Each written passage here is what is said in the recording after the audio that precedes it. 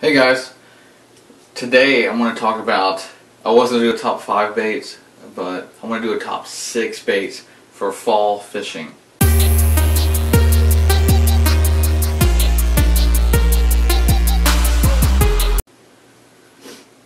Alright, I want to start with, they're in random orders, but let's see, I'll just start from like morning to nightfall, if you, I guess if you want to say. Top toad. First thing in the morning, these Stanley top toads are pretty sweet. You can buzz them. They're hollow body, so they'll stop and float. If you want to stop them over certain spots or work it super slow, you can. And it's a buzz frog type thing. And I actually, I'll pop it too and make it try to do walk the dog. So it's like a regular frog. So this is like one frog and all. That's all you need to buy. And you can find them like Dick's, Stanley Jigs website. I'll put that in the link in the description. And uh, but I love these. These were one of my go-to frogs. In fall fishing, and they tear it up, especially early in the morning. But I usually can fish with this all day long. All right, and then we'll go right here. And uh, this is the Roku by Doomsday Tackle. I like it, the octagon shape, and it has a lot of wiggle when it goes down. If you're throwing it weightless Texas, this is pretty nice. You can wacky rig this thing. You can mojo rig it, put it on a shaky head. You can do almost any way you want to rig these and they're so universal the stick baits that's why this is one of my fall baits actually one of my all year long baits but use it in the fall guys. In the fall I like to stick with like two types of colors probably like um, green pumpkin watermelon red flake and uh, black and blue or like the purple the June bug kind of colors. Those are my go-to colors. Alright and number three guys going to be the regular soft plastic swim bait. Um, I, I, don't mind hard swim baits, but I have, I think I catch more fish and bigger fish with the soft plastic ones. And I think it's because it's soft, they want to hold it in their mouth a little bit longer, and uh, you can fish it, I can pop it and make it twitch, and just like with a jerk bait, and then the soft plastic jerk baits right over there with these, you can twitch it, you can make it do whatever kind of motion you want in the water. And this is one of my top fall baits. And and from after that, uh, I just wanted to tell you guys, fall, a lot of people say go smaller with baits, but I'm one of those guys that like to go bigger in the fall. The bigger bass, they're looking for a quick, easy snack. They don't have to follow stuff around and munch on it because the water temps are starting to drop and everything else. So they're gonna just find the biggest thing they can to hold them over. So go bigger, go um, go huge. And uh, the second thing is a Doomsday Turtle. I've been fishing with this all summer, and it's a moving bait. You can falls about about moving baits to me. You can move. They're gonna be eating baits up like crazy. So just Texas rig this. Put like a 3 16 ounce weight, unpegged, on the front of it, and uh, and then here I'll show you how I'll rig it real quick with this one. What you're going to do is go through the head just like regular Texas rig. The part of the bottom, the slit is going to be your bottom. I mean you can rig it backwards if you want. It's going to swim almost the same way.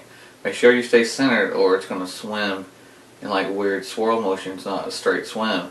But what's funny is I catch a lot of bass when it's when it's rigged up not centered. So I mean, just go out there and experiment. You're going to find your spot you go through, go through the back end, and then you're just going to bury that right under, just like that.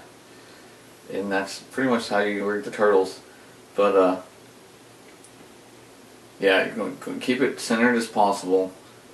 And uh, so, because it'll swim straight. If you put it to the side a little bit, it'll make like these cool loops and stuff. And go back and forth. And uh, it'll entice his bass stripes too. So. Don't be afraid if you it wrong. And uh, what's that? That was number four. Number five is to be crawls. These little Doomsday Reaper crawls. They're like three inches, 3.2 inches. These things are sweet on uh, shaky heads. Sorry for that. My cat is like going crazy out there because she's not involved. But these Reapers are uh, great on shaky heads. Like they're going to be small shaky heads, small. This is where you make your bait a little smaller if you want. But what I do is use them as a trailer on a big jig. and I'll trim that skirt that skirt right below the hook so them, ten, them appendages hang out really good so you can see those and get the motion of those and these are I'm using right here is a Stanley jig and I actually like Stanley jigs I like the way the heads are shaped and everything and the bristles and the weed guard is nice. But just put it on there. Crawl fall season's all about crawls. You're gonna catch so many fish on crawls. It's it's awesome. And uh, I think you guys will if you haven't crawfished you need to try it this fall. I think you'll enjoy it. They they hit these things so hard because on a jig and the crawls are in their natural defense mode. The bass just want to like I don't know they hit it harder it seems like when the crawls in the defense mode. And then uh, that's number five and last but not least chatterbaits chatterbaits. I leave the skirts on the chatterbaits just like they are. Usually they already come pre-cut here and then have a little longer tail so you don't have to put a trailer. But I'm going to go in and I'm going to put a swim bait trailer. This is a Little EZ from Gambler on this one. But I change up the trailers all the time and it gives it a bigger profile. I've preached this in other videos. Use the swim bait trailer on your chatterbaits. It vibrates a little differently it looks like a little different lure in the water. Gives it a giant profile. It's almost like a swim bait, but it's a blade on the front. And it's or swim jig. I mean, with a bait on the front. And uh, and I would go as far as putting one of these on there. It's going to make it a little longer. See, it's going to make it like a couple inches longer. Put a bigger swim bait on there, and you're going to get huge, huge fish if they're in the lakes that you're fishing. They're going to buy this. Chatterbaits, you're going to just reel it steady, um, give it a couple twitches, slow it down as much as possible. But I'm telling you, chatterbaits during the day and late in the evening, you're going to catch a ton of fish. All these other lures just use all day long during the fall. And you're going to, I think it's going to help you guys out. I like soft plastics more in the fall than hard baits and crankbaits and stuff. But a lot of other people will use crankbaits, which is fine. Um, this is my preference. So, you know, every fisherman has their different preference of what they catch a lot of fish on. So go out there, listen to other um, fishermen, and try out their stuff too until you find your niche, and then stick with it. But soft plastics is what I love in the fall, and uh, I can't get enough of it. I, I'll usually stock up during the summer when they have the sales and stuff because I'm going to usually go through with so many in the fall. But I hope you enjoy this guys and uh, I'll try to get out there and catch me some fish on these fall baits for you guys later on when it hits fall and it gets colder. And thanks for watching and go catch some fish.